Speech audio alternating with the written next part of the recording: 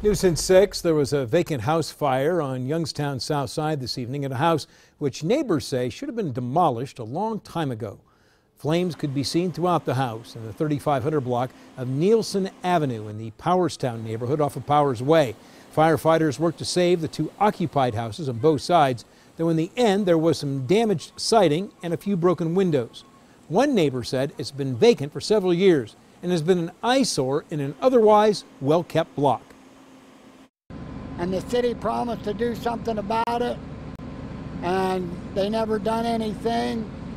And then they were supposed to tear it down last year, and then they promised the first of this year, and we never seen anything. And this is the second time this house has been on fire. And this is the only bad house in the neighborhood. Firefighters say the floor inside the house collapsed. No one was inside and no one was hurt.